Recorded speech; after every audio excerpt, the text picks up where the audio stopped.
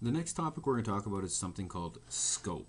Scope essentially means where can a variable or a subprogram be used. Um, up to this point in the course, we've always created our variables up at the top of our programs. For example, I might have a variable saying, let's say var first name, and I can even assign it to, let's say, Trevor. And let's do another one, var last name, and we'll assign that equal to Lane. Very simple. var first name, var last name. Now let's say I wanted to create a function. Now down below, I'm going to create another function that displays the full name. Function display, oops, lowercase f, display full name. And it's going to require two pieces of information, first name, and, well, let's give it a just to give it a unique name, F name and L name. Now inside of here, all I'm going to do is create the full name, or and I could do it. I could do it simply just right inside the code. I could just say console.log and concatenate the two, f name plus colon space plus l name, and that would work just fine, and that's no problem. Um, but I do have other options what I can actually do is I can actually create a variable inside of this subprogram. Now our variables at the top, they're called global variables. And the reason why they're called global variables, it means that they're accessible globally. We can use these variables anywhere in the program. So inside of here, I could actually put first name and last name if I wanted to.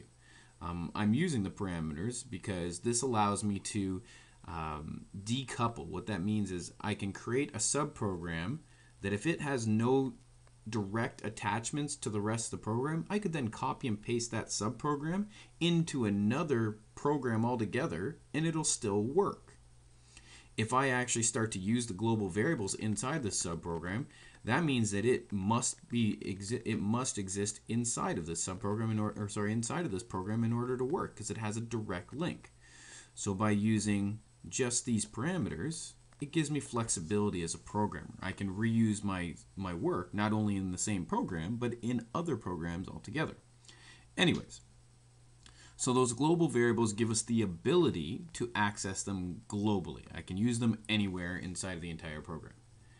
If I create a variable inside of a subprogram, we call this a local variable. Let's say var full name. And we're going to assign it the value of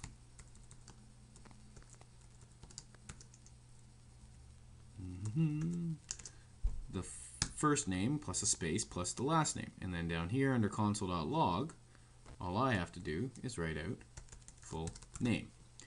Now this comes with a few important points. First of all, a local variable, because it's local, is only in existence, is only accessible within the block of code it was created. So for example, it was created inside of this display full name block of code inside of these opening and closing braces, which means it is only accessible in there. If I try to use full name down here,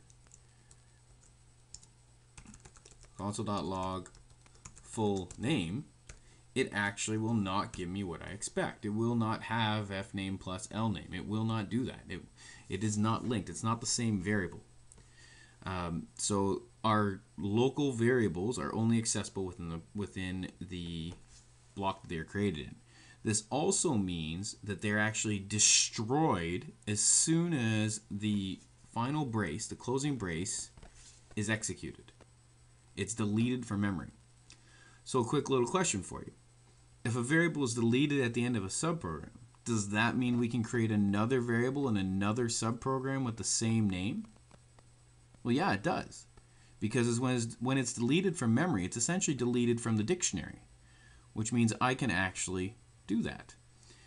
More on top of that, I could actually use the same name as these variables up here. What will happen is the local variables will take precedent, which means JavaScript will use the local version before it'll use the global version. So we have to be very careful about our naming. That's why it's always good to have unique names when we're doing this so there's no confusion. Right? So try, try to use unique names um, even in your local context. So these local variables are used for um, the direct use inside. What we want to do is we want to try and avoid using global variables whenever possible. If a variable can be local, it should be local. The main reason for this is memory management. If a variable is global, that means it is in existence for the entire life of the program. However, if a variable is local, that means as soon as the subprogram is complete, it's deleted, freeing up that memory for other uses, whether that's images, sound, other programs, whatever it is. It allows us to keep our pro- keep our computers running smooth. So um, that's variable scope.